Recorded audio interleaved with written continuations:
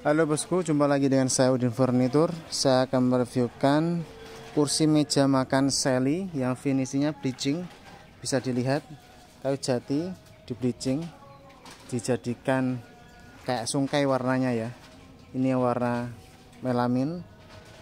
Nah, ini warna sedikit apa jati tua. Terlihat putih ya bosku ya. Beliau request minta diwarna di bleaching hasilnya sangat bagus sekali. Seperti kayu sungkai.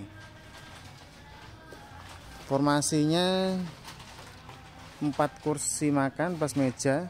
Untuk mejanya ini panjangnya 150 cm bosku. Dengan lebar 80 cm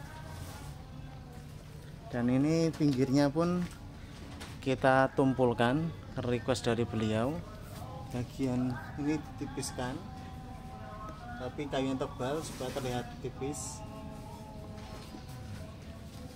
Konstruksinya seperti ini bosku. Kursi retro Sally ini termasuk kursi yang sedang laris